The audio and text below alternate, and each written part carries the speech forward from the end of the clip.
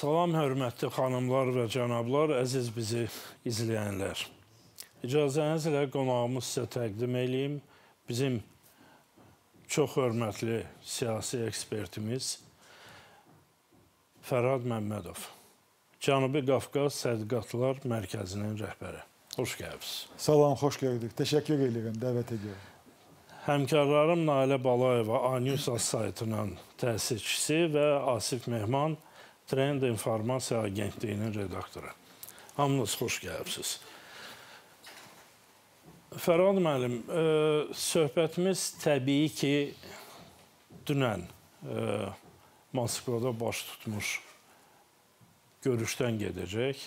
Amma bunu bilmirəm, görüş mü adlandırım, yoxsa Avropa-Asiya İqtisadi Əməkdaşlıq Təşkilatının sammiti.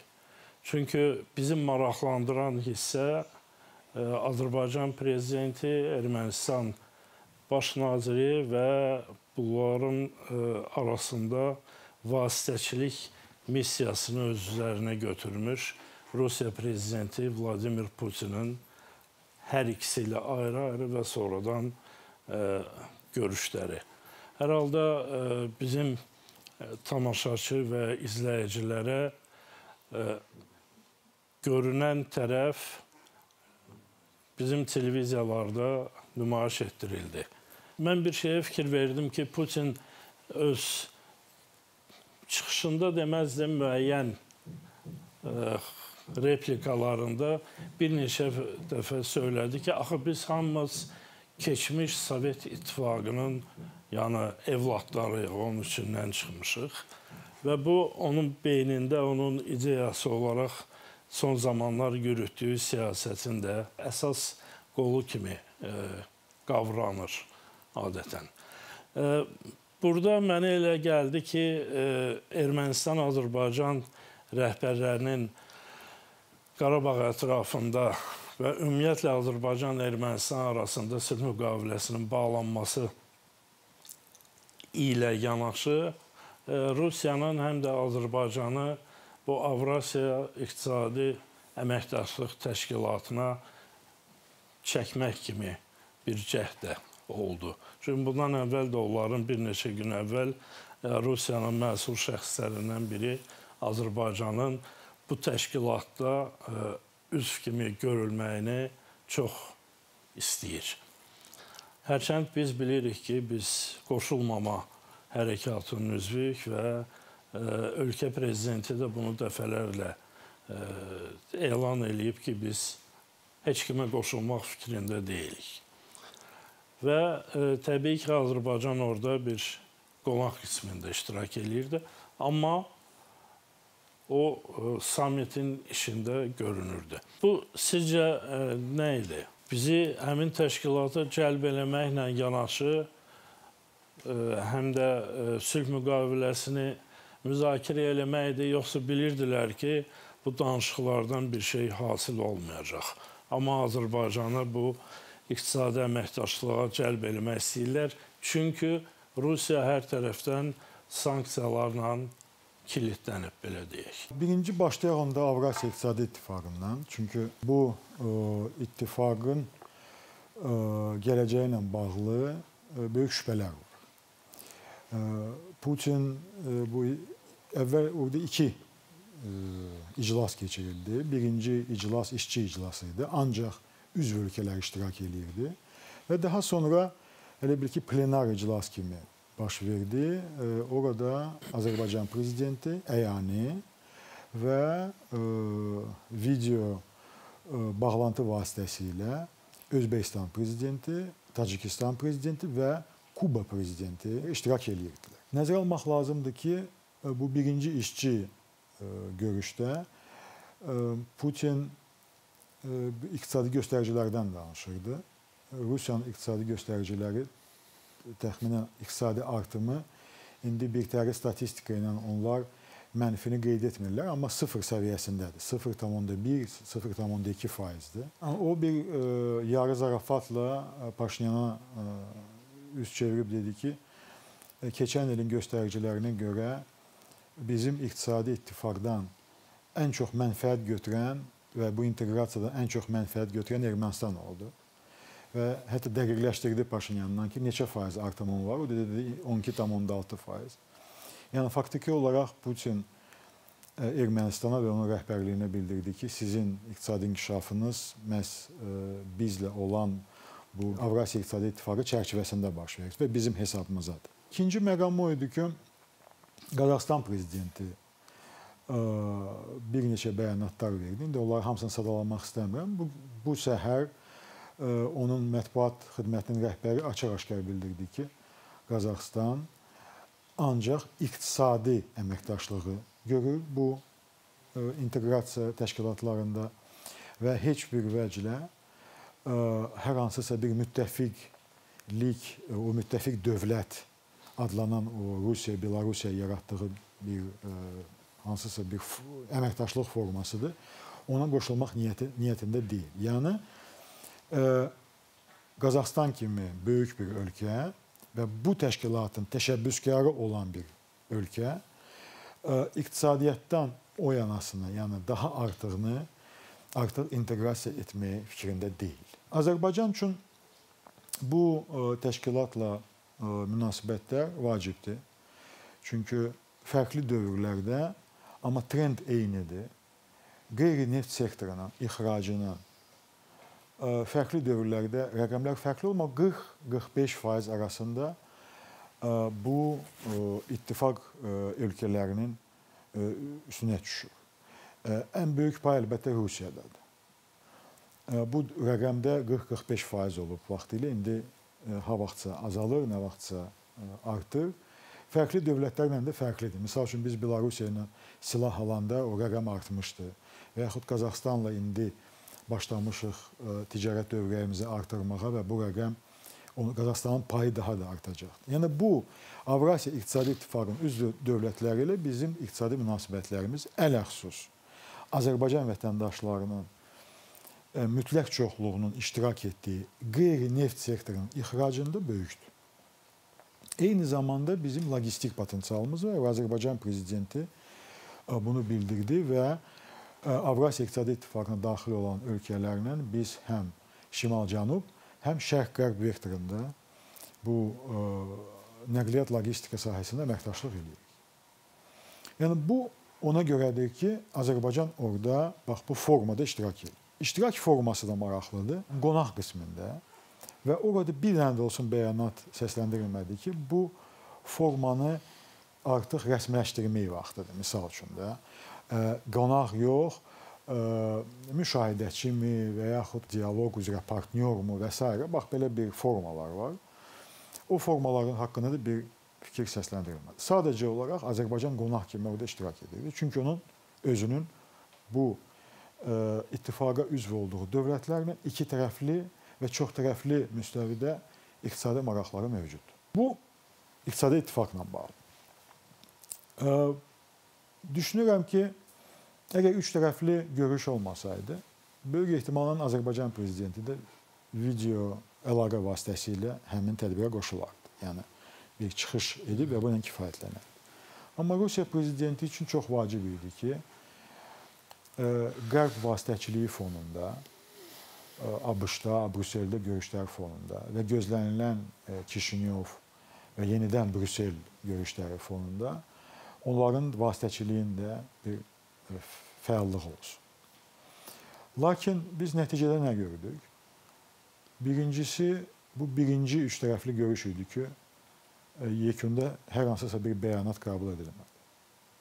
Yəni, bu artıq bir göstəricidir ki, hətta ə, e, Xarici İşlər Nazirlərinin ə, iştirak etdiyi və daha öncə Moskvaya gedib görüşdüyü elan edilən bir sammitdə üç tərəfli bəyanatın mətnini razılaşdıra bilməyiblər və yaxud belə bir təşəbbüs olunubdur.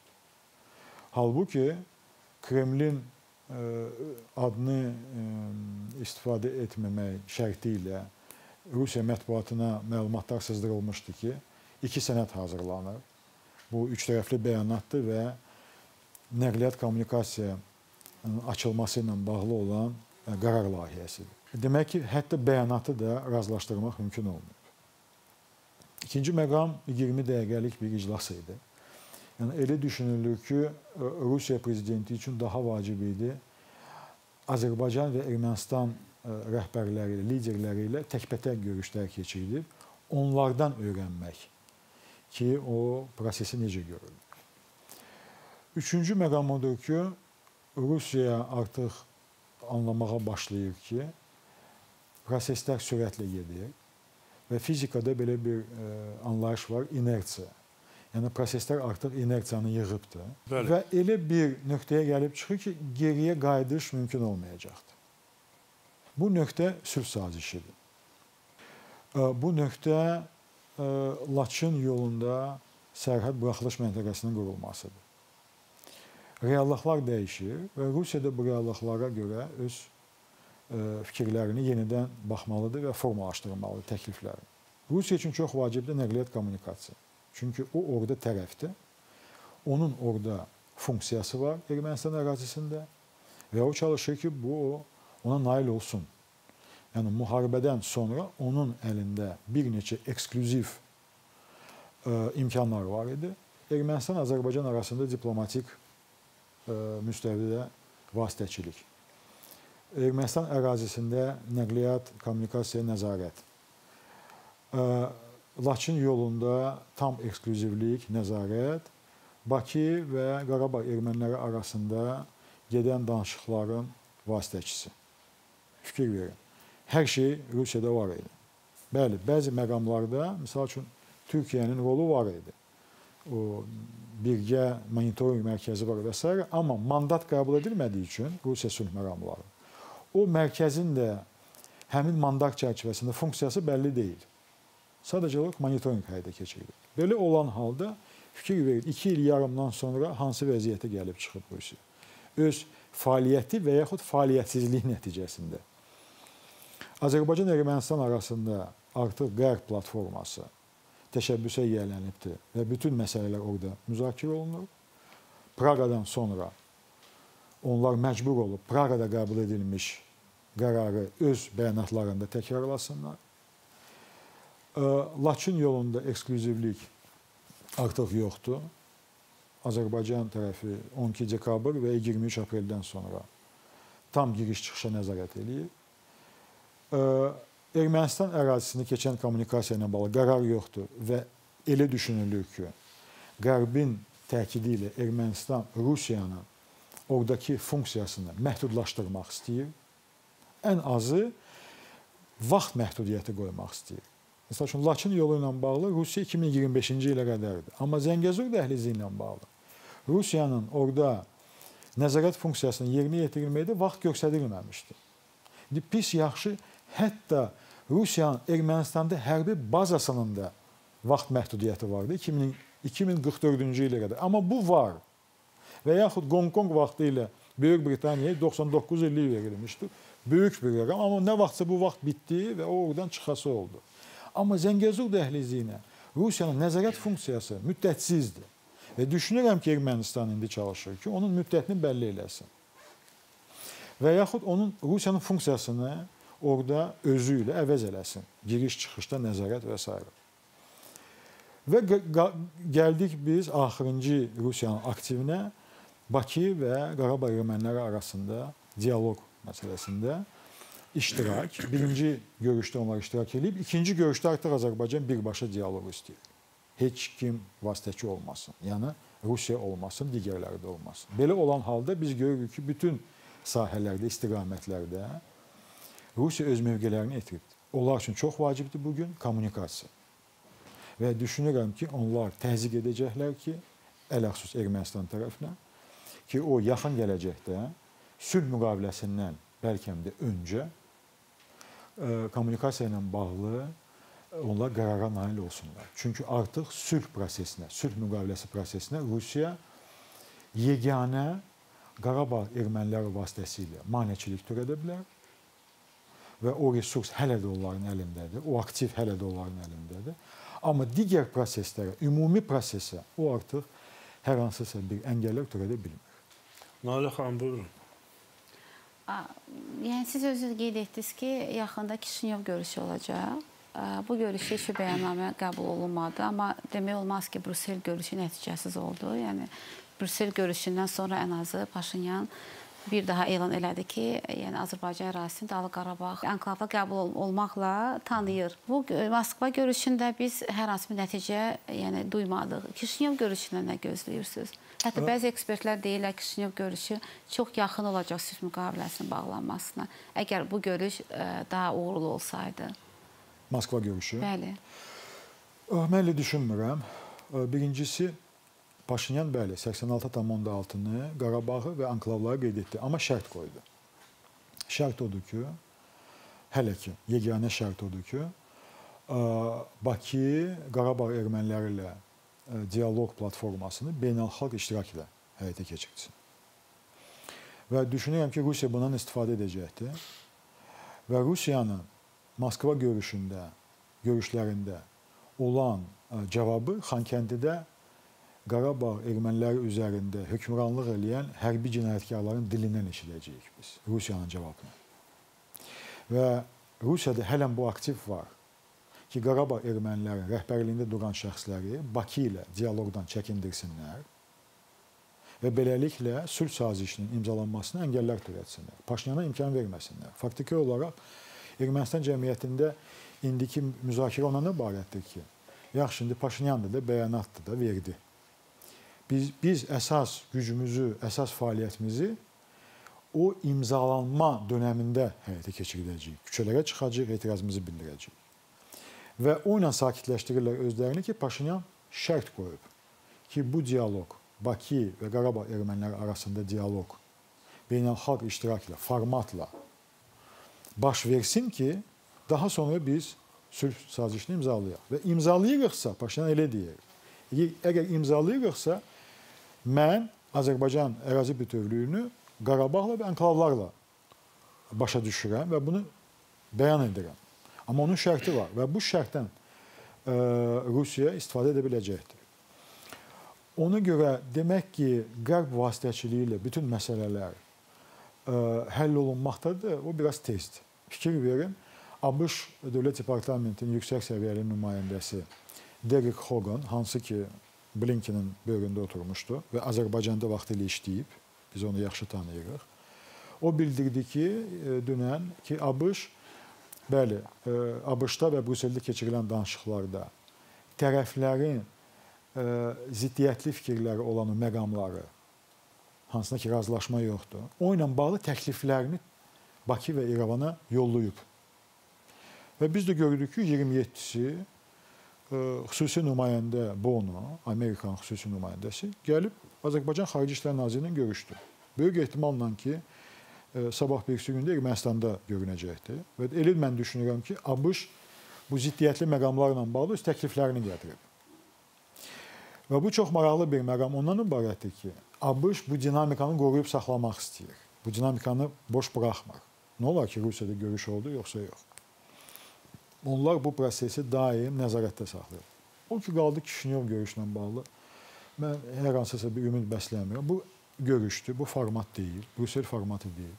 Düşünmürəm ki, Azərbaycan prezidenti bu görüşdə hər hansısa bir ciddi məsələləri müzakirə eləsin Makronun iştirakı ilə.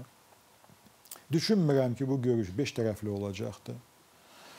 Bu bazar günü Türkiyədə seçkilərdən sonra məntiqli olar ki, Türkiyə prezidenti də həmin görüşdə iştirak eləsin, o altı tərəfli olsun. O Avropa İttifaqı çərçivəsində görüş keçirilmir. Avropa siyasi cəmiyyət çərçivəsində keçirilir, hansında ki, Türkiyə də iştirak edir tam hüquqlu üzv kimi.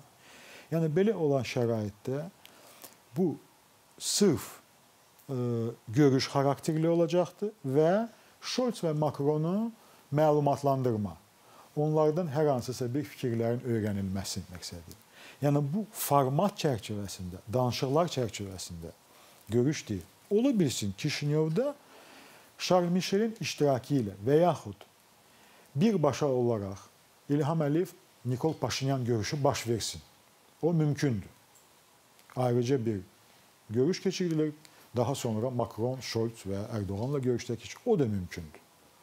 Amma Kişinyov görüşü məhz bu bəyan olunan beş tərəfli görüşünü nə onun formatına inanıram ki, 5 tərəfli olacaqdır. Ola bilsin səhv eləyəcəm. İkinci də inanmıram ki, orada ciddi məsələlər müzakirə olunsun və hər hansısa bir qərarlar qəbul edilsin. Bu məlumat xarakterli görüş olacaq.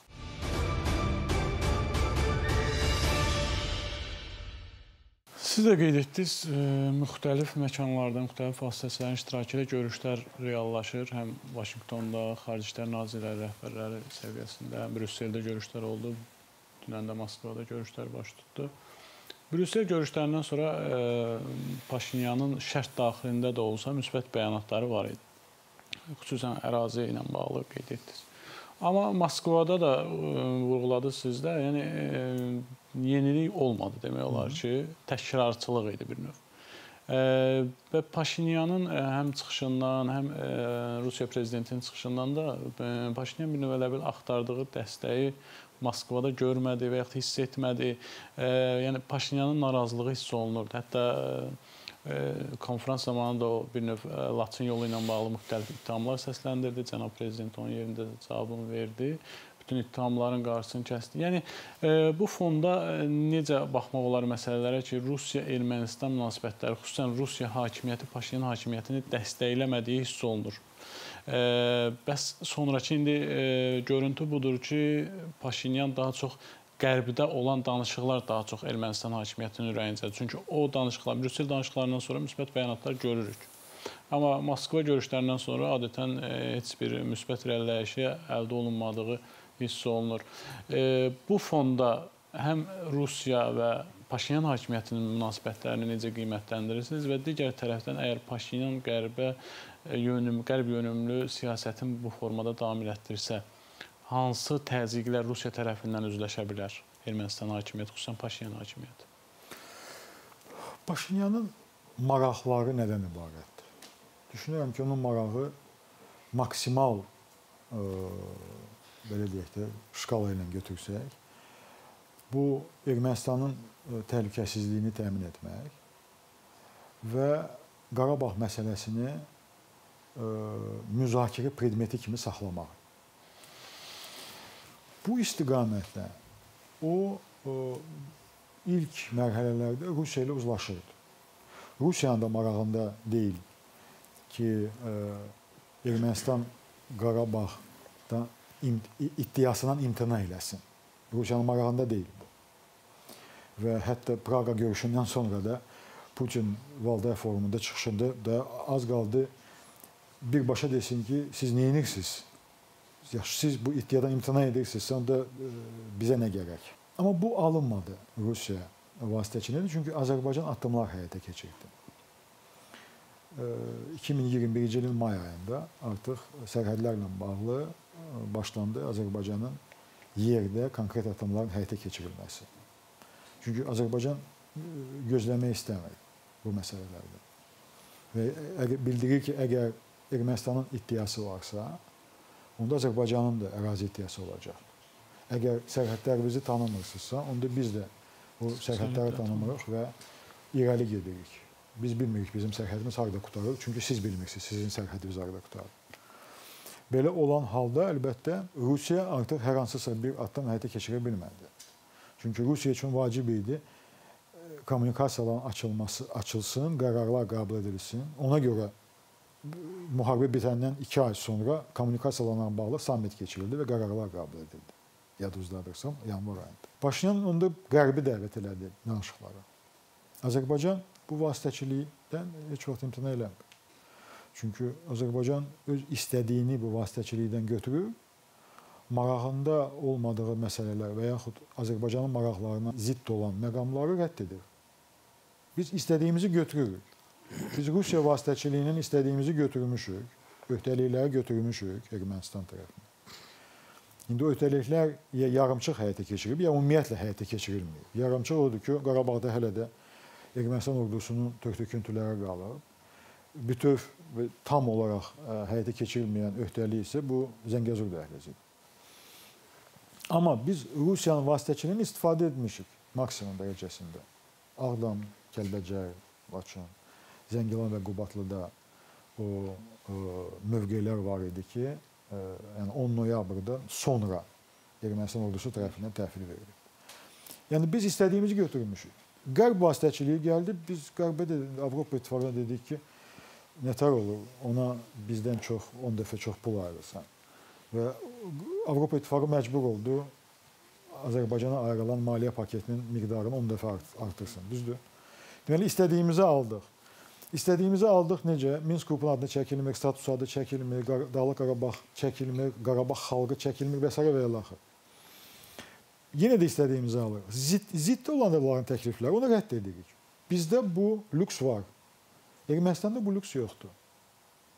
Hal-hazırki dövrdə biz Ermənistan nail olmuşuq ki, Ermənistan rəhbərliyi Azərbaycan ərazi bütövlüyü deyəndə nəyi nəzərdə tutur, onu tam təfsilatı ilə bildirsin. Qarabağla və anklavlarla. Və Qərbdə, Rusiyada çox yaxşı başa düşür ki, Əgərlər indiki dövrdə ki, bu sürətli dinamika var danışıqlarda. Onlar hər hansısa bir nəticə əldə etməyəcəklərsə və yenə pauza yaranacaqsa, Azərbaycan yenidən bir tərəfli addımlarını həyata keçirdəcəkdir və artıq ünvanlar da bildirilib. Sərsəng su anbarı,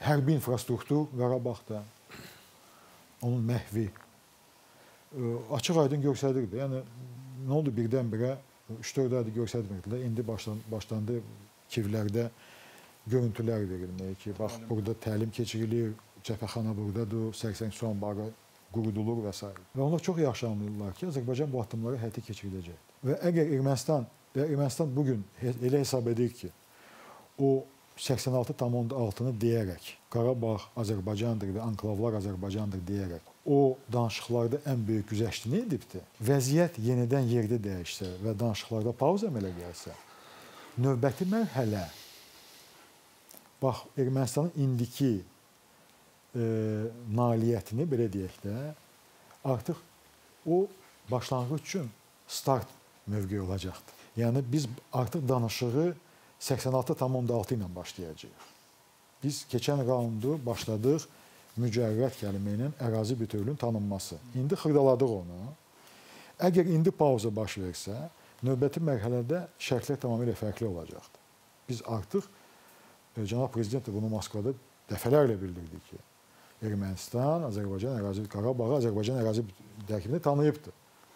Əgər danışıqlar pauza olsa, bu başlanğıc olacaqdır və yeni şərtlər olacaqdır. Belə olan halda biz yenə də Ermənistana üz tuturuq ki, Rusiyadan istifadə etmək istədiniz alınmadı. Qərbdən istifadə et etmək istədiyiniz alınmır. Biz qərbə də yox deyə bilirik. Biz qərbi də lazım gəlsə səfirinə heç viza vermirik, vasitəçi deyir. Viza vermirik ki, o Azərbaycana gəlsin. Bir elə vasitəçi diplomatlar var ki, onlar Azərbaycan vizasını birdən görsən bir həftə 10 gün gözləyir, bir ay gözləyir. Niyə görə? Çünki E, lazımsız bəyanatlar verib. Və o bəyanatları düzəldəndən sonra Azərbaycana gəl gəlib öz funksiyasını, öz işi ilə məşğul olmağa, e, öz fəaliyyətini bərpa edir. Yəni belə olan halda bəli biz bütün bax bu istiqamətlərdə Azərbaycana minimum zərər gəlməklə e, demək olar ki, çalış Azərbaycan hökuməti cənab prezident çalışır ki, minimum zərər olsun. İndi bu bəyanatlardır, parlamentin qərarlarıdır, siyasətçilərin tweetləridir. Bəli, o beynəlxalq imicə zərbə yetirir. Amma ciddi baxsaq, hər hansısa bir dövlət, Fransa baxaq da, yəni sanksiya tətbiq etməyibdi. Bəli, beynəlxalq təşkilatlarda bizə qarşı fəaliyyət göstərir. Öz resurslarını istifadə edir. Amma nəticəsiz olduğu təqdirdə Azərbaycanın şərtlərini qəbul etməyə məcbur olur. Belə olan halda düşünürəm ki, biz diplomatik və hərbi o təzyiqi ə, e, düzgün tarazlamışıq və onu vaxtı-vaxtında e, istifadə edirik və həm Ermənistanı bunu izləyirik, həm də vasitəçiləri onu qəbul elətdirir. Bu çox vacib olan məqam. Üzr istəyirəm. Bu ə, e, söhbətdən məndə belə bir sual doğur. Düzdür? Deyə bilərlər ki, elə siz də deyə bilərsiniz ki, 30 ildən sonra bu sual səndə niyə yaranır? Vasitəçi, vasitəçi, vasitəçi danışırıq. Hər vasitəçinin öz marağı var. Rusiyanın öz marağı var bölgədə, Qərbin var, Birləşmiş Ştatların var və e, mən ona görə soruşmaq istəyirəm, ümumiyyətlə vasitəçi lazımdırmı? Bizə lazımdırmı, Ermənistana lazımdırmı? Yəni biz birbaşa danışa bilmərikmi? Bilərik.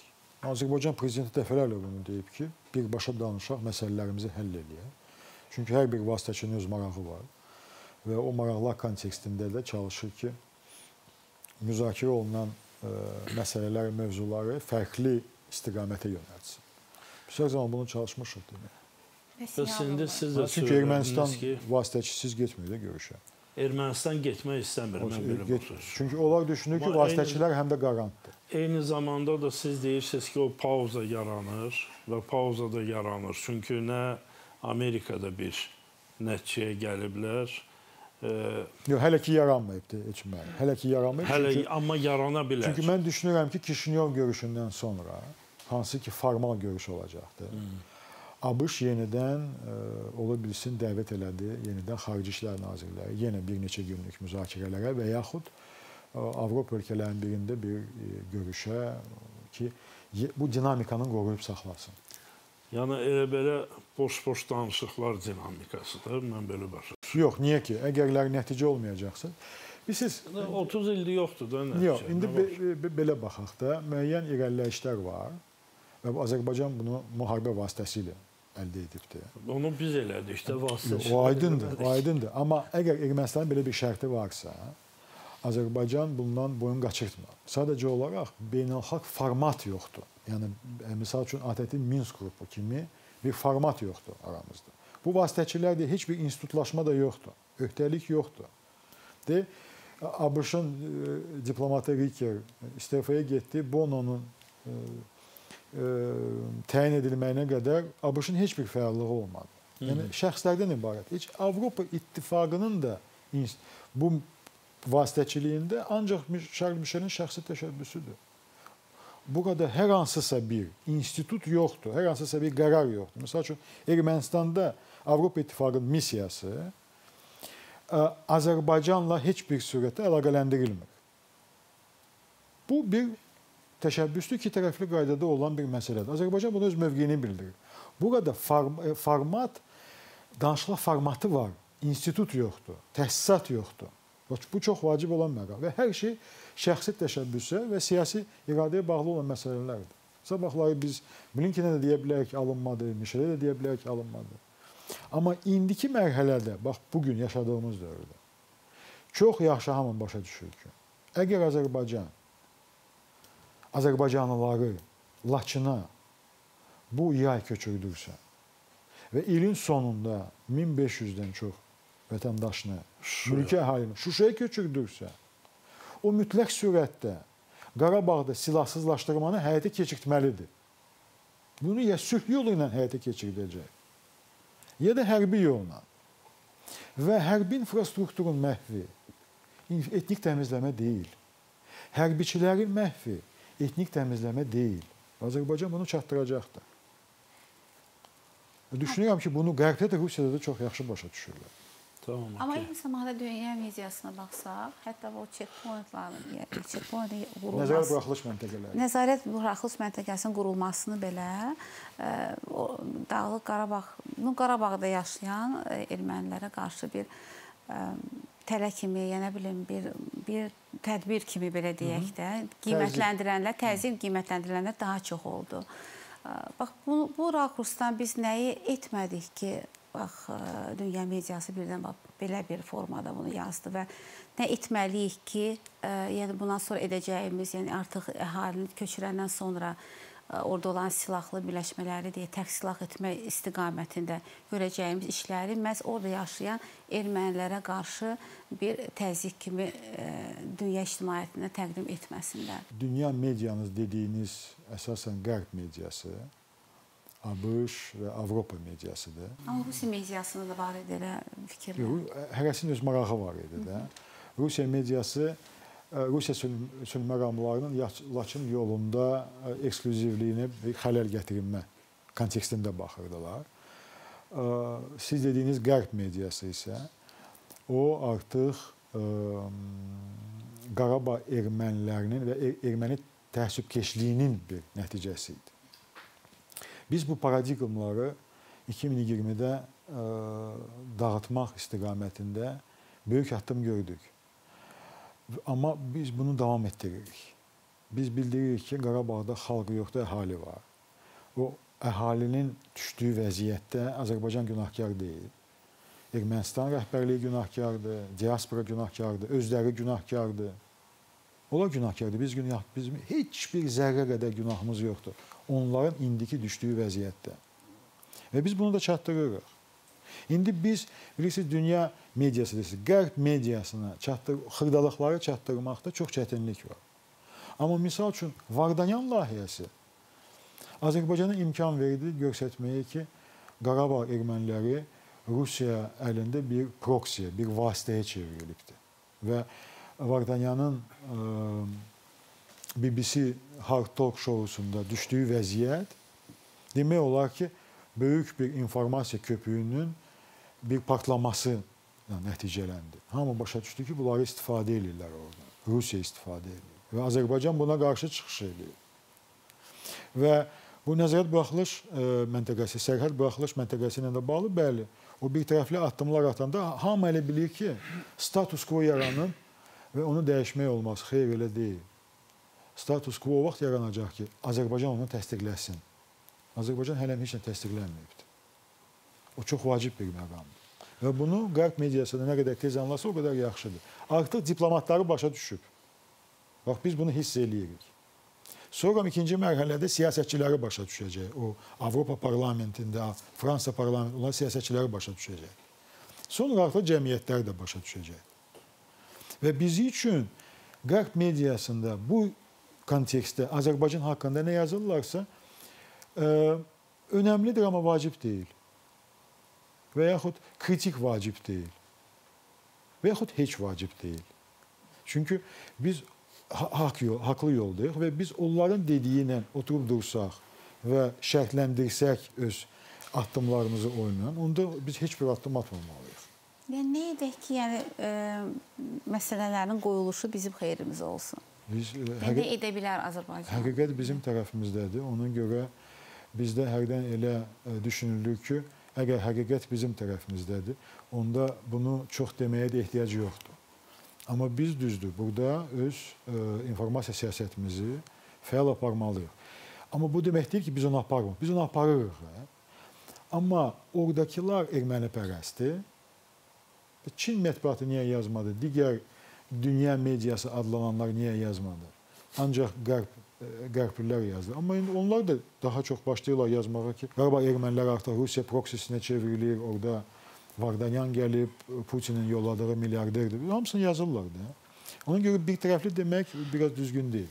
Amma vaxt keçdikcə o reallığa artıq onlar asta-asta Mən Elçin müəllimin sözünə qüvvət bu bayaqki sualın biraz da genişləndirmək istəyirdim. Müxtəlif formatlarda vasitəçilərlə danışıqlar gedir. Hətta Azərbaycan tərəfi, Azərbaycan prezidenti vasitəçilərsiz də danışıqları təklif edib prezident İlham Əliyev. Amma ə, e, bir şeyi nəzərə almaq lazımdır ki, Ermənistanın tarixinə nəzər salanda e, Ermənistan regionda bir növ alət kimi yaradılmış bir dövlətdir. Yəni sonradan qondarma müxtəlif maraqlara xidmət edən dövlətdir. Ermənistanın heç bir zaman demək olar ki, öz marağı olmayıb. Kimlərinsə marağına xidmət edib, kimlərinsə siyasi oyunlarına vasitəçi olub, alət olub. İlk növbədə Ermənistan hakimiyyətinin vasitəçilərsiz danışıqlara getmə imkanı nə qədərdir? Və bu danışıqlar deyək ki, baş tutdu. Bu danışıqlardan nəyi gözləmək olar? Yəni onu demək olar ki, Ermənistan hakimiyyəti tərəflərsiz, yəni iki tərəfli qaydada danışıqlar apardı. Amma yenə də nəticəni kimlərlənsə razılaşdırmalıdır. Çünki Ermənistan müstəqil siyasət görmür Ermənistandan. Müxtəlif dövlətlərlə, müxtəlif tərəflərlə razılaşdırılmış siyasət yürüdür. Yəni iki tərəfli danışıqlar ə, e, sülh müqaviləsinin əldə olunması üçün hər hansı bir nəticə verə bilərmi? Artıq verir də. Çünki bu belə deyək, substantiv danışıqlar iki tərəfli olubdu. Blinken iştirak eləyib, sonra çıxıb otaqdan, Bayramovla Mirzayan qalıb otaqda. Və yaxud Charles Michel iştirak eləyir, sonra prezident İlham Əliyevlə Nikol Paşinyan qalır otaqda. Onlar danışırlar bir-birinə. Yəni bu ən vacib məqamdır qarşılıqlı etimadın yaranmasında. Bax birinci kontaktları harda oldu? E, cənab prezidentlə e, Nikol Paşinyan.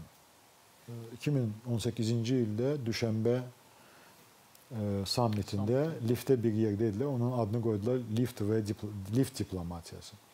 Orada razılıq razılıqlar oldu. Sonra o razılıqlara bir neçə dəqiqə onlar ünsiyyətdə olublar. Sonra söhbət ediblər. Yəni bir dənə ünsiyyətlə sonra ona çoxlu istinadlar oldu. Niyə görə? Çünki təxminən 5-6 ay ərzində atışma olmadı, ə, hər hansısa bir kəskin bəyanatlar olmadı qarşılıqlı və doğrudan da ümid var idi.